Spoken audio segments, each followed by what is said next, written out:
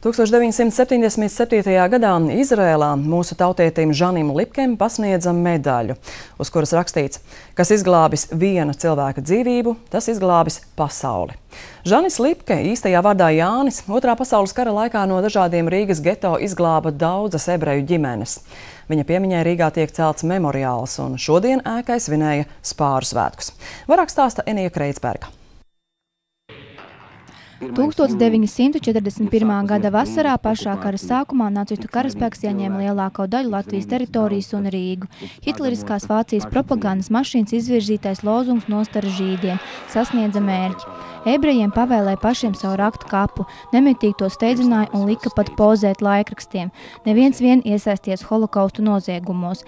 Tomēr bija arī tādi, kuri riskējot ar savu un savu tuvinieku dzīvību glāba ebrejus no nāvis. Viens no viņiem bija Jānis jeb Žanis Lipke. Mēdz dzīvē teikt tā, es vairāk dodu tev, nekā es no kāda ko gaidu. Viņš tiešām bija tāds nu, cilvēks ar lielo burtu. Un es vienmēr tā domāju, ka viņš varbūt no kādas mākoņu maliņas skatās, un kad viņš ir tiešām pelnījis, tiešām pelnījis, kad viņam ir šāda vietiņa. 1938. gadā Lipke kopā ar sievu Johanu Lipki noīrēja nelielu mājiņu Rīgā. Ķīpselā netālu no Daugavas krasta. Mazā balasta iela astoņu kļuva par nozīmīgāko patvērumu vietu izglābtajiem. Tieši šeit arī tiek celts memoriāls, kur toreiz atradās malkas čūnis, zem kura bija paslēptuve ebrejiem.